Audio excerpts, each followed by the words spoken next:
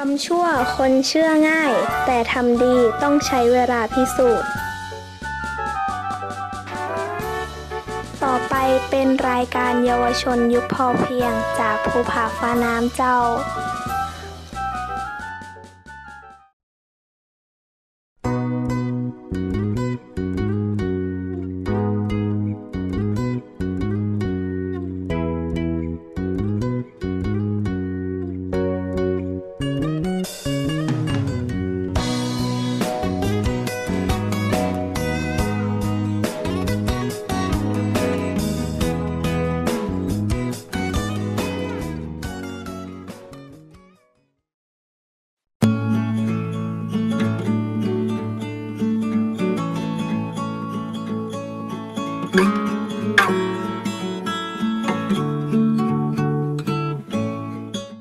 เจริญธรรมสำนึกดีค่ะ กลับมาพบกับรายการเยาวชนยุคพอเพียงกันอีกครั้งนะคะสำหรับสัปดาห์นี้ เราจะพาท่านผู้ชมมาพบกับการศึกษาบุญนิยม กับพี่สิทธิ์เก่าสัมมาสิกขาราชธานีอโศกเมื่อเรียนจบแล้ว เขาได้เรียนต่อระดับปวสจนจบ และอยู่ช่วยงานวัดในหลายด้าน ทั้งสื่อสารบุญนิยม และการศึกษาบุญนิยม ที่บวรราชธานีอโศกแห่งนี้ค่ะ ก่อนที่เราจะไปรับชมการสอนแบบวิชาการ เราจะพาท่านผู้ชมไปติดตามกิจกรรมการทำอาหารในวันหยุดของน้องๆ สมุนพระรามกันก่อนค่ะ บรรยากาศจะเป็นอย่างไร ไปติดตามชมกันค่ะ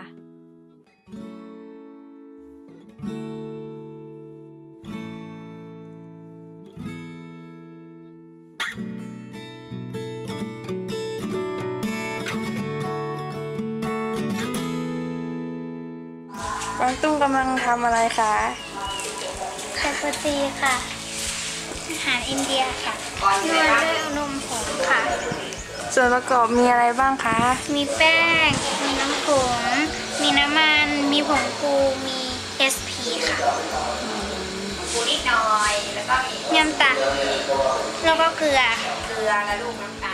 าล วันนี้เป็นจริงๆแล้วเป็นวันอะไรเอ่ยวันหยุดค่ะ ส่วนหนูก็ไม่มีอะไรทำค่ะ อยู่บ้านก็นั่งกินข้าวธรรมดาค่ะแล้ววันนี้ได้มาเรียนรู้รู้สึกยังไงบ้าง สนุกค่ะ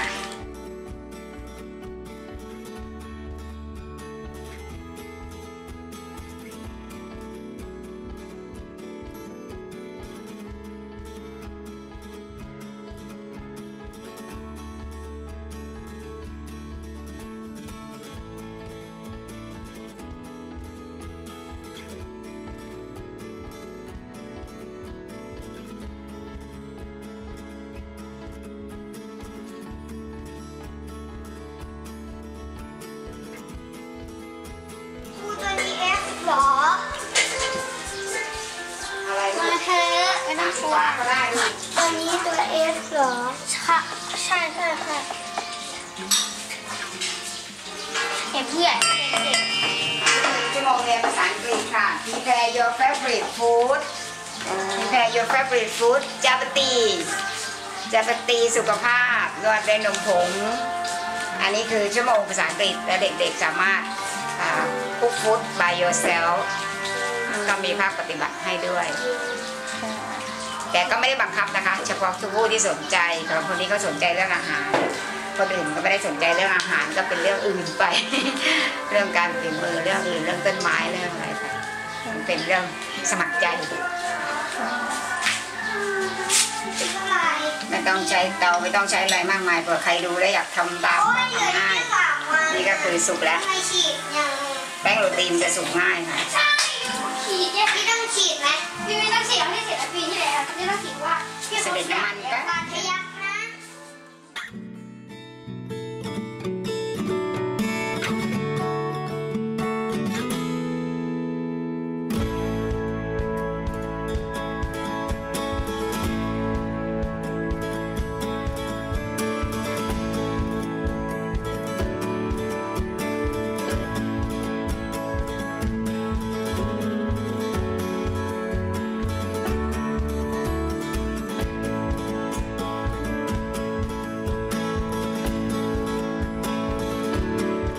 แล้วภาษาอังกฤษก็มีอาทิตย์หนึ่งก็มีอาจจะสามวันบ้างสี่วันบ้างแล้วแต่ค่ะ ทีนี้วันหยุดเนี่ยเขาอาจจะขอมาทำอาหารเอ่อ prepare your favorite food อย่างเงี้ยเราก็โอเคครูก็จะไปไหนไม่ได้ก็คืออยู่คือก็ให้เวลาเต็มที่ถ้าเด็กสนใจเออเขามีวันหยุดแล้วไม่รู้จะทำอะไรสวยสวยสวยทำเองสวยสวยสวยไม่รู้จะทำอะไรก็เออทำอาหารก็ดีที่สุดเนาะทำเสร็จแล้วก็ได้กินค่ะ ไม่ต้องไปซื้อเขา ได้กินได้ฝึกได้หัดแล้วก็ได้ทานด้วยได้อิ่มด้วยภูมิใจฝีมือตัวเองด้วย ห้องเรียนเรานี่แหละเป็นห้องที่ทำเหมือนมันประยุกต์โต๊ะโต๊ะคอมพิวเตอร์เนี่ยเอามาทำเดี๋ยวกียจเราก็เอาง่ายๆ ใช้สากเบือสากกระเบือส้มตำมาทำที่กลิ้งแป้งมีอุปกรณ์อะไรเราก็หยิบใช้ได้หมดแล้วเด็กเขาเวลาเขาไปที่ลำบากเขาจะได้รู้ว่า ไม่จำเป็นต้องมีครบก็สามารถทำได้แบบตามภาษาคนจนเนาะเวลาเราตุ้งนั่นตกละระกำลำบากไปอยู่ที่ไหนที่ลำบากเนี่ย เราจะได้ไม่ต้องหาว่าแต่นั้นต้องซื้ออันนี้ต้องซื้อไม่ต้องเลย มีอะไรก็คือใช้อันนั้นแน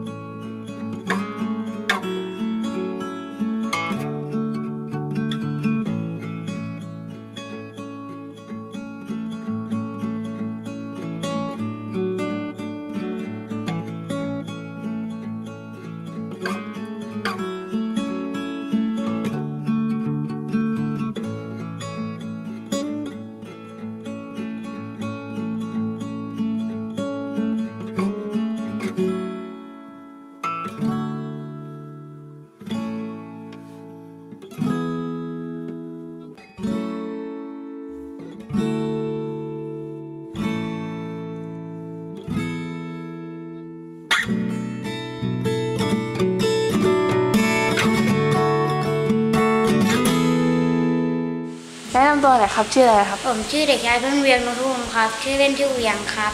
อยู่ชั้นป .5 ครับกวาดกวาดของครับกวาดพื้นถูพื้น มันมันให้มันสะอาด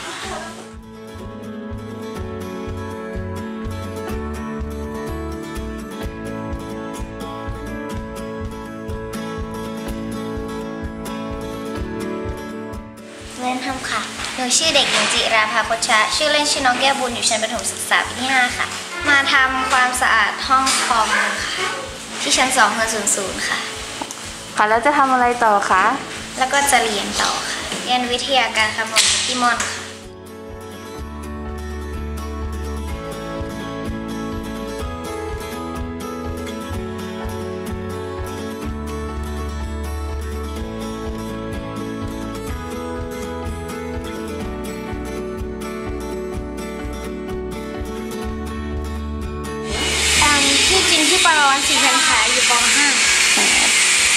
กติมาเรียนกับพี่ม่อนวันไหนบ้างคะ .5 วันจันทร์อังคารพุธแล้วก็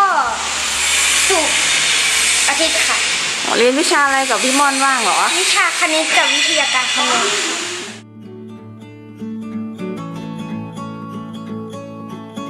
เ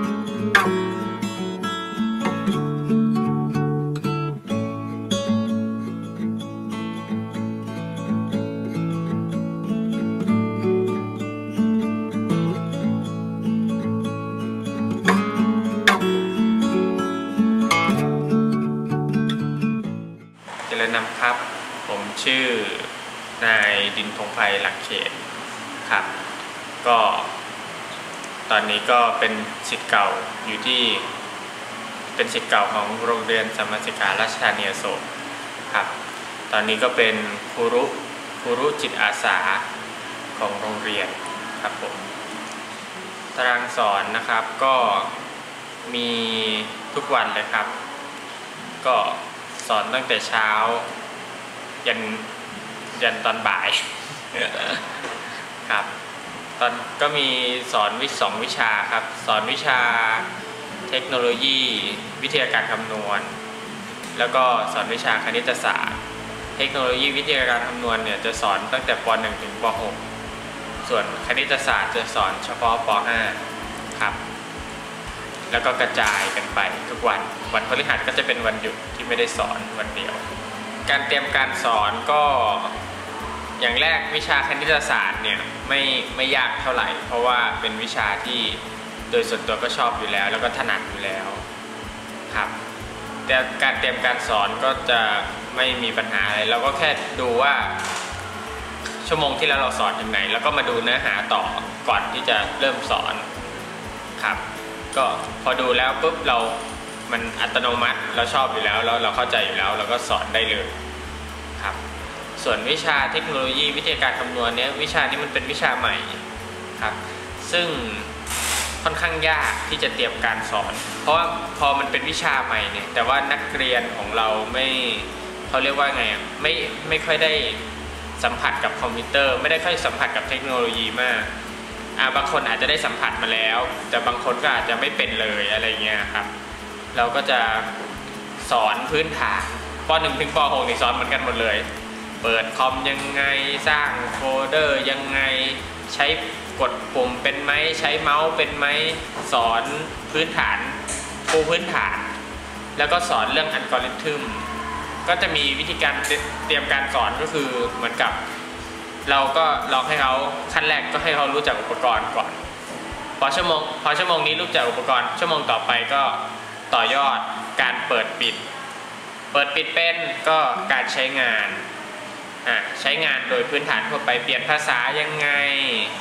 เราจะพิมพ์ได้ยังไงเราจะสร้างโฟลเดอร์ยังไง เราจะเปลี่ยนชื่อโฟลเดอร์ยังไงครับ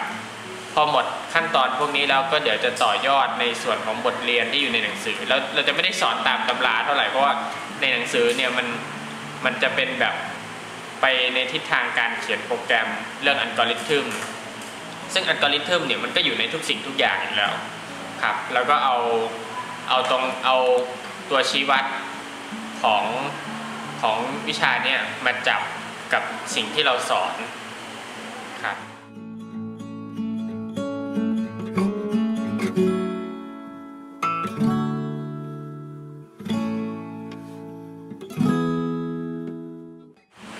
การสอนแต่ละครั้งก็ ก็รู้สึกเหมือนว่า เราก็ได้ทบทวนตัวเองไปด้วยว่าไอความรู้ที่เราจำมา แล้วเอามาสอนน้องต่อเนี่ยมันถูกจริงหรือเปล่า เพราะว่าบางทีเราเราเราก็เอ๊ะอันนี้จริงหรือเปล่า ใช่หรือเปล่า เราก็จะเปิดหานะตรงนั้นเลย ก็คือเรียนรู้ไปพร้อมกันกับเด็กครับ เพื่อที่ว่ามันมันจะได้ถูกต้องแม่นยำไม่ใช่แบบว่าเออ จำอะไรมาก็สอนต่อโดยไม่มีการคัดกรองใด ๆ ครับ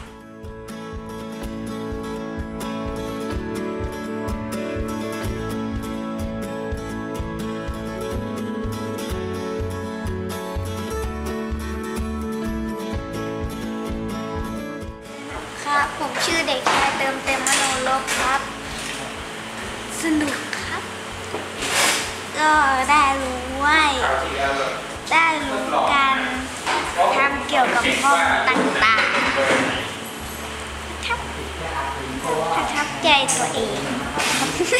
เพราะว่าตั้งใจทำ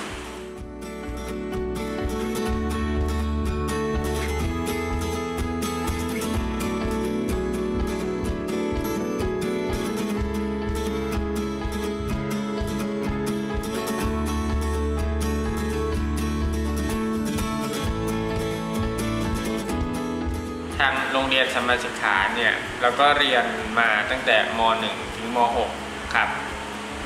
ก็พอจบมาแล้วปุ๊บเราก็ไม่ได้ไปไหนต่อ คือโรงเรียนเนี่ยมันเป็นโรงเรียนที่เป็นจิตอาสา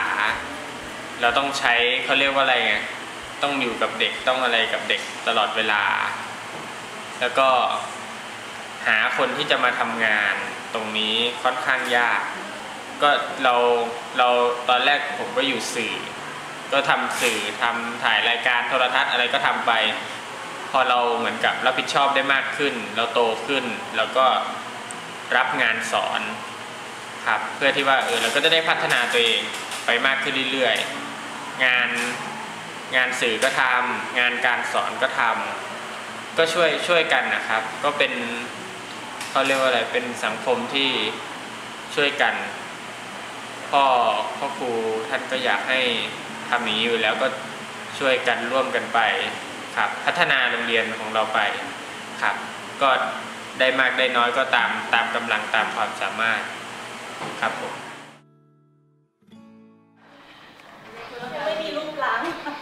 ห้องเขาเรียกห้องประสานงานเอ้ยห้องอะไรนะพ่อให้ชื่อยังเลยให้ให้ห้องอะไรชื่อที่เราตั้งมาอะไรนะศูนย์อำนวยการการศึกษาบุญนิยมเออก็ตั้งก็ดีแล้วก็ดีแล้วเพราะศูนย์ก็คือเหมือนเงินศูนย์นะคะ เออเอา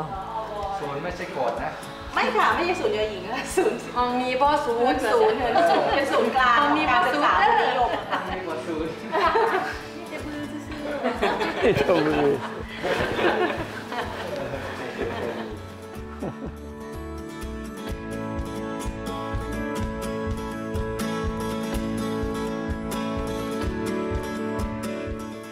ช่วงโควิดเรา เนื่องจากหมู่บ้านเราเนี่ยกัดคือปิดปิดหมู่บ้านอยู่แล้ว คือปิดไม่ให้ภายนอกเข้ามา วิธีการป้องกันของเราก็คือไม่ไม่พยายามออกไปข้างนอกแค่นั้นครับส่วนการใช้ชีวิตในเนี่ยเราก็จะรักษาระยะห่างมากขึ้น แต่การเรียนการสอนเนี่ยก็บางทีบางกรณีก็ต้องใส่แมสถ้าเหมือนกับเริ่มมีไข้หรือว่าผมเป็นภูมิแพ้เงี้ยบางทีตอนเช้า มีน้ำมูกไหลหรือไอจามเนี่ยก็ต้องใส่แมสไว้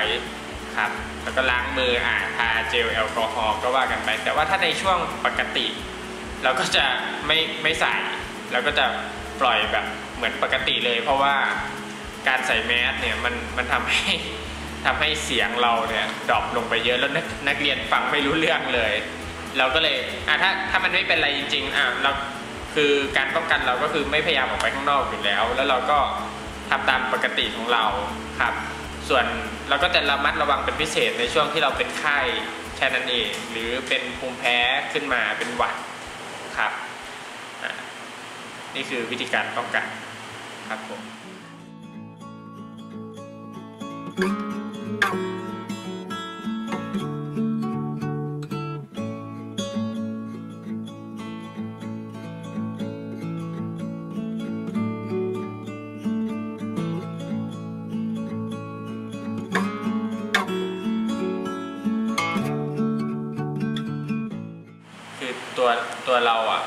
ทีเราเราก็เพิ่งจบมา ในในความรู้สึกของผมก็คือ เราก็รู้สึกว่าเราเป็นเด็กคนหนึ่งที่อยู่ในวัดอะก็เหมือนลูกหม้อคนหนึ่งที่ก็ไม่ได้ไปไหนก็อยู่ในวัดต่อนี่แหละ แล้วเราก็ยังยังโตไม่พอ พอเราได้มาสอนน้องสอนอะไรเนี่ย มันทำให้เราต้องจัดการกับตัวเองมากขึ้นทำให้เราต้องรู้สึกว่าเอ้ยจะทำทำตัวแบบเดิมไม่ได้แล้วนะ จะทำแบบ จะทำตัวเหมือนเด็ก ไปเรื่อยๆ อย่างนี้แล้วก็ไม่ได้ละพอสอนน้องเราก็ต้องโตขึ้นรับผิดชอบมากขึ้น แล้วก็ต้องพยายามทำตัวเป็นผู้ใหญ่มากขึ้นนะครับ ไม่ไม่ตามใจตัวเองไม่มีไม่เอาเอาอารมณ์มาตัดสินใจอ่าก็พยายามทำมากขึ้นมากขึ้นมากขึ้นครับ นี่ก็เป็นสิ่งที่ได้ฝึกตัวเอง ข้อ 2 คือปุ่มอะไรครับ ปุ่มไม่ใช่ปลุ่มจะเขียนลอลิงมาทำไมโอ้ปลุ่มไม่ใช่กลุ่ม ไม่ใช่ปลุ่ม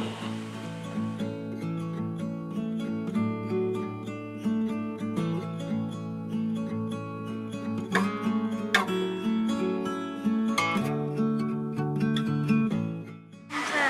หนูชื่อเด็กหญิงนัทธานิชานาคตระกูล ชื่อเล่นชื่อน้องข้าวฟ่างอยู่ชั้นป .4 ค่ะเอ่อก็สอน การสร้างโฟลเดอร์สอนหลายอย่างเลยค่ะ ก็ได้ความรู้เพิ่มขึ้นค่ะ ประทับใจเพื่อนๆ แล้วก็ตัวเองค่ะ ที่ตั้งใจเรียนค่ะ แล้วก็ประทับใจพี่ม่อนที่พยายามสอนพวกหนูค่ะ